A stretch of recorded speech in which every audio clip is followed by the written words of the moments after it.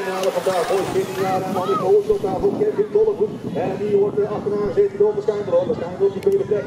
En die gaat kijken dat hij uh, Dollevoet ergens aan kunnen vallen. Maar dan moet hij gas geven, want Dollevoet zit vooraan. En die is uh, toch in losgeslagen van de rest. Maar dat geldt ook voor de nummer 3 op de nummer 2. De 2 van Sam Sutman heeft de gaatje los moeten laten aan de tweede hand van Schijndel. Dus de eerste plek is voor Dollevoet van Schijndel en Sutman. Dat zijn de posities zoals ze zijn. Arsenal'ı bence